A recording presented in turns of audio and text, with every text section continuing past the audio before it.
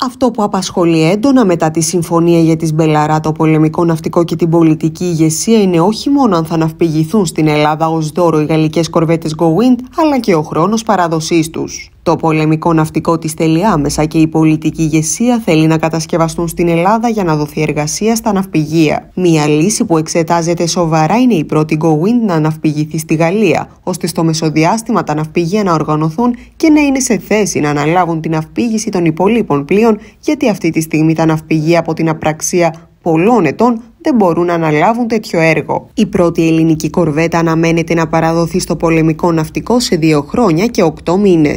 Βέβαια, αν σκεφτεί κάποιος και το χρόνο των διαπραγματεύσεων, θα είναι θετικό αν δούμε την πρώτη κορβέτα σε τρία χρόνια από σήμερα, δηλαδή το 2024 με 2025. Το ζήτημα είναι, θα μπορούν τότε τα ελληνικά ναυπηγεία να αναλάβουν τη συνέχεια του έργου και ποια ναυπηγεία θα είναι αυτά τους ή της Ελευσίνας.